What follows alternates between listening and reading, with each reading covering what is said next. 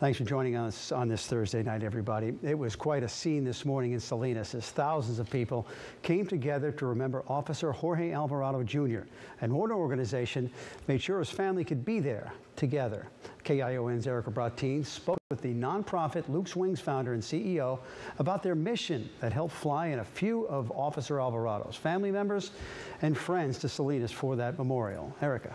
Phil, the news of Officer Alvarado's death not only shook the Central Coast community, it made headlines across the country.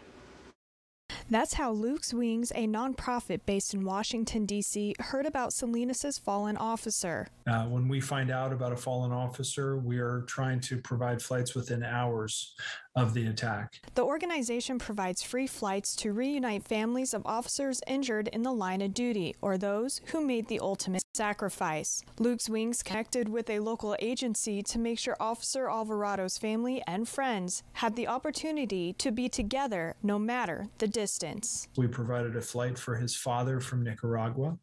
We provided a flight for his nephew who was at basic training at Fort Benning.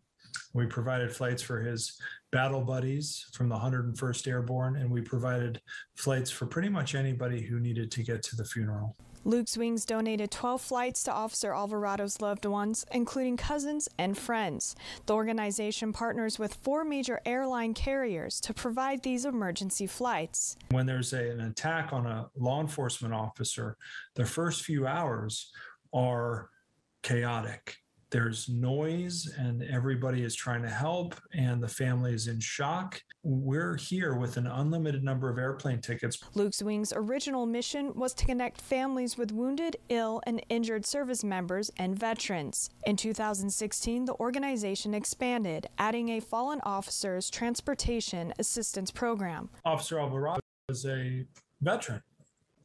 He was in the 101st Airborne. And so not only does he qualify for our fallen officers transportation assistance program because he's a law enforcement officer, but he also qualifies for our program because he's a veteran. Gil adds sadly for their fallen officers program, they are doing more flights for funerals than for hospital visits.